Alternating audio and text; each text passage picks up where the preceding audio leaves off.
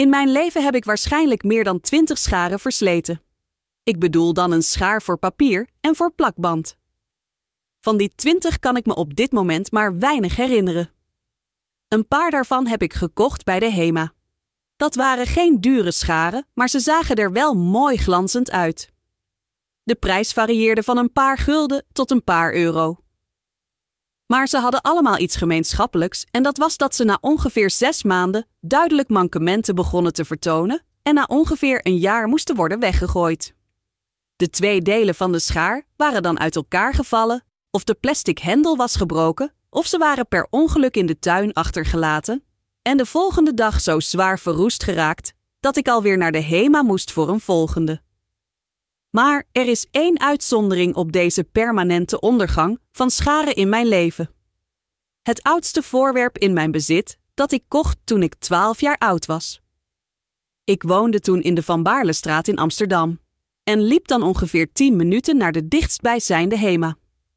Van mijn schaarse zakgeld kocht ik een schaar. Ik denk voor een gulden of misschien wel voor 50 cent. Dat waren nog eens tijden.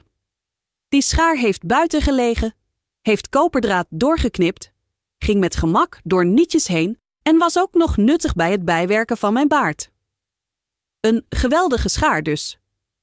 Intussen ziet hij er niet meer zo glanzend uit als toen ik hem kocht. De twee delen van de schaar dreigen voortdurend uit elkaar te vallen. Maar tot op heden is hij scherp. Scherp genoeg voor papier en plastic en ik gebruik hem nog steeds om mijn baard bij te werken. Dat is het soort van vakmanschap dat jaren geleden normaal was. Natuurlijk was die schaar niet ambachtelijk vervaardigd, maar machinaal geproduceerd. Maar het moet een gelukkige dag zijn geweest toen deze schaar uit de fabriek kwam en in de HEMA belandde, waar ik hem uit een volle bak met scharen heb gehaald. 65 jaar oud is hij en nog steeds niet van plan om met pensioen te gaan. Dit is een gigant onder de schaartjes. Dit is een mirakel van moderne industriële vormgeving. Want hij past ook nog eens perfect in mijn hand. Ik steek mijn duim door het ene oog en mijn middelvinger door het andere. Nu heb ik perfecte controle. Hij heeft precies het goede gewicht en doet precies waarvoor hij oorspronkelijk gemaakt is.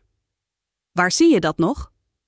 De tientallen andere scharen hebben deze gelukkige kwaliteit niet gehad. Daarvoor waren ze ook niet gemaakt.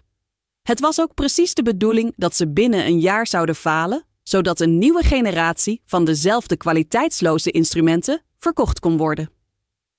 Er valt ook aan het ontwerp van een schaar niet zoveel te verbeteren. Deze schaar heeft dan ook een volstrekt duidelijk en simpel ontwerp gekregen, en hij ziet er dan ook onogelijk uit. Maar ik weet wat zijn kwaliteit is. Hij is precies dat waarvoor hij gemaakt is. En hij is dat met de volle mogelijke kwaliteit die je tegenwoordig van dergelijke apparaten niet meer verwacht. Het is een werktuig, een instrument met een hoofdletter. En wanneer je zo'n werktuig in je handen houdt en beseft dat het 55 jaar geleden in je bezit is gekomen, voel je voor die twee stukken aan elkaar gehamerde metaal een enorme nostalgie. Dat ik het in al die jaren met die vele verhuizingen nooit ben kwijtgeraakt, hoewel ik het een paar keer uit de handen van mijn huisgenoten heb moeten redden, is een prestatie die zeldzaam is geworden. Daarom deze hulde aan een schaar en een eerbetoon aan alles waarvoor deze schaar staat: zorgvuldigheid, efficiëntie, doelmatigheid en indirect nu ook een symbool voor wat duurzaam is geweest in mijn leven. Wat zou het mooi zijn geweest als alles in mijn leven op deze schaar had geleken?